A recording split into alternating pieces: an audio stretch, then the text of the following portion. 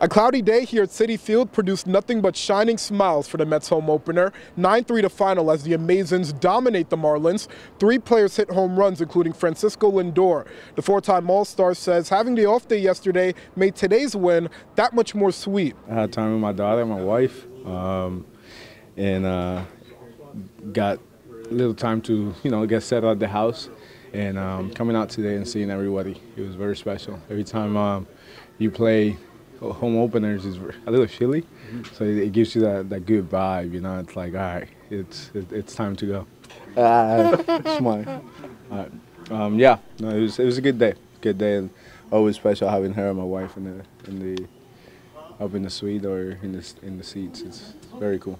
Lindor adding part of being a good player and a good team is flipping the page win or lose. The Mets are back at it here at Citi Field tomorrow. First pitch against the Marlins is 410.